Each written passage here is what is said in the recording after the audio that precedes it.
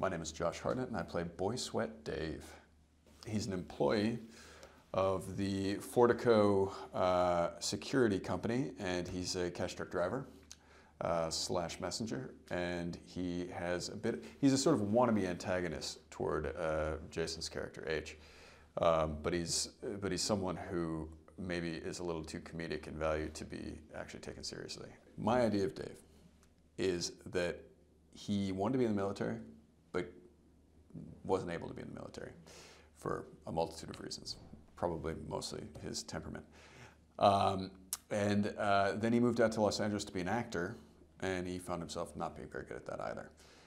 And then he thought he could employ both of those sort of mentalities in a job like this, where he gets to pretend he's like really tough and he gets to, you know, like butch it up, but really he's a, he's a, he's a kid who grew up without a father who just wants to prove himself to everyone around. He's very close to his mommy.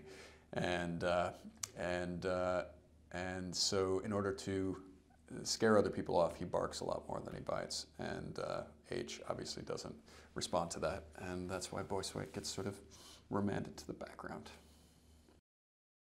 Guy has worked, works like no one I've ever worked with before. He, uh, he wrote the script, and uh, it's based off of a movie, but he wrote this, this version of the script. And uh, yet we come into work every day and he is ready to rewrite every word in order to, uh, to sort of keep it fresh, I think.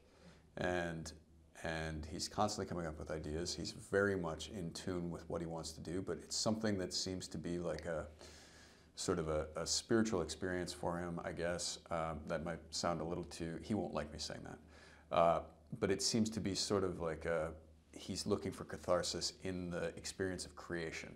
And so he's sitting there coming up with ideas as we work. And so really when you walk into work every day, you don't know what you're going to end up doing and I like that. I like that we have to kind of react to, to the day's news, the, the, the sort of new, uh, the, the new twists and turns of the day. I've always been a huge fan of Guy's, so I kind of, I wanted to just be in it for the experience and, and see what he could get, what he saw in me as an actor for this role. I think Guy has a real, like, I know he has a real love of language, so he's listening to it constantly. And so when it feels right to him. It's only, yes, the visuals have to be there, but when it sounds right in, in the dialogue, that's when he seems to be really excited. And that is probably one of the biggest signatures of his work.